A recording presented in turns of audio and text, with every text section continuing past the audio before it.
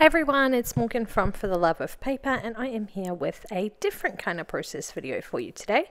I am doing a little project in my one of my traveler's notebooks. I've actually got a couple of little projects in um, traveler's notebooks coming up. Uh, this one is a photo photo a day challenge that I did in uh, February. A couple of the photos are from March because I forgot, but um, yeah, so I uh, followed a few prompts from different places and took one photo every day for the month.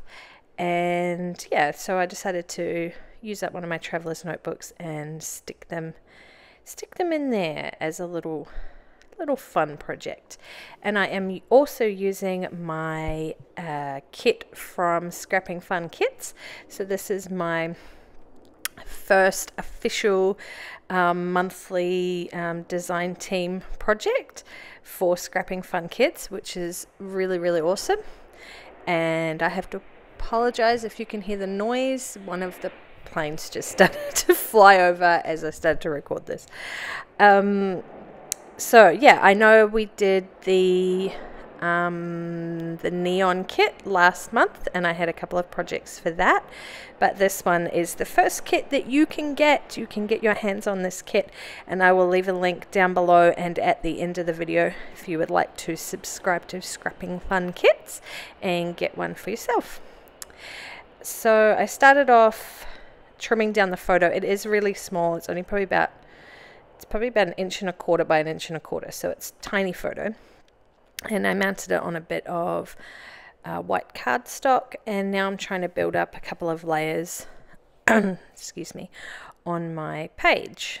So I wanted to use one of the doilies and purple is my favorite color so it just fitted perfectly that this kit was all purple which is super exciting for me.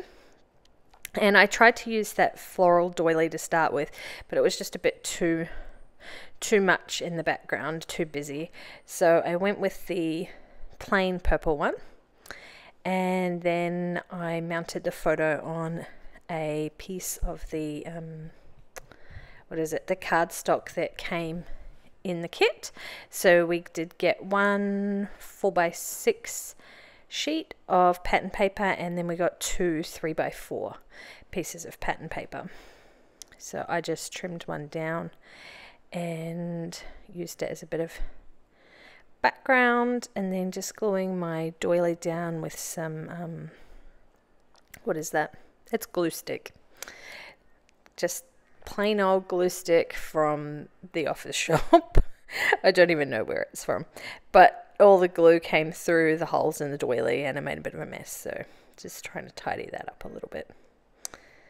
And this layout I think I think it took me about 15 minutes to complete. Not very long at all, but it wasn't like the, my whole idea was this was just a really quick uh, project that I wanted to do um, for last month. And I'll be sharing these um, on my channel and on my blog every just periodically when when I need to fill in a gap, I suppose.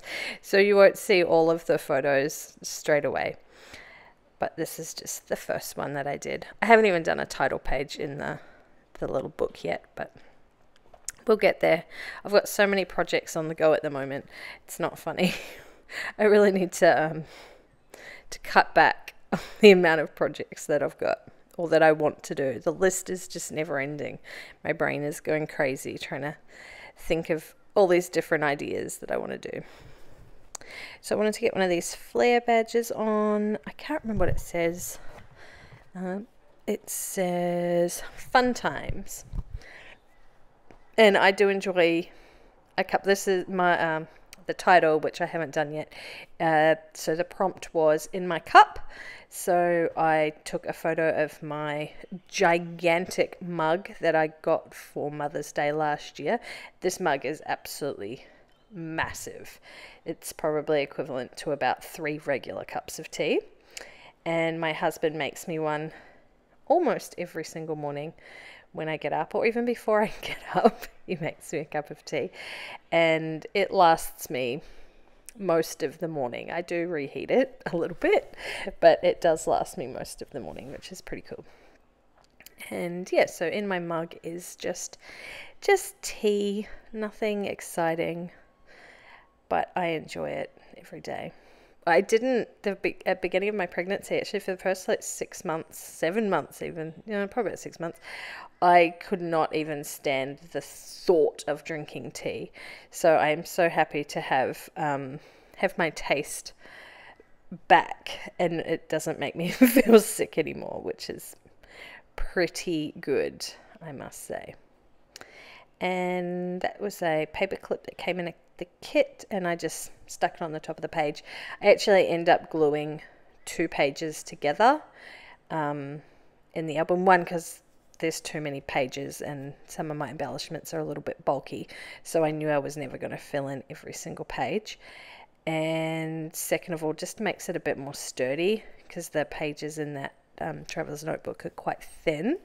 So having them double thickness uh, really helps.